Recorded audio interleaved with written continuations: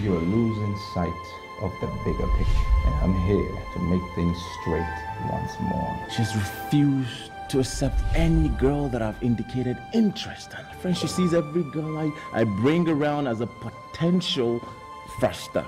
Oh, gold digger. How could she? I don't know if I'm doing the right thing getting you involved into all this. For as long as it's within my powers, I- I'll, I'll get it done. What would you say if I gave you a huge sum of money to stay away from my son? So you want to marry my son and all his money? Since you cannot place a price on what your love for him is worth? Or should I call you a gold digger? Would that make you understand where I am driving at? I beg your pardon, Your Majesty. You have it. Is he still really planning on marrying Emem? How could you say that to him? How could you call her a gold digger? It's unethical. I wouldn't just sit and watch someone get married to you because she wants to use you as a means of her financial security. Are you playing blind over the love I share with Emem?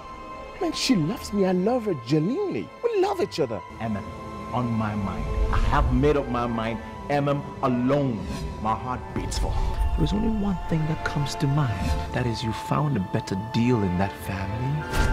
And now you want to have everything all for yourself. Drop me by the roadside. But you think I'm stupid?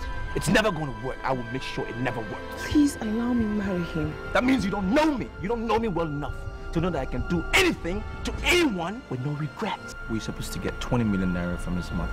Get me 10 million now, and we have a deal. Lance, I, I, I don't have that kind of money. Then we have nothing to discuss. Get out! Cheta, my brother, how are you? 20 million? 20 million naira is what my love is worth?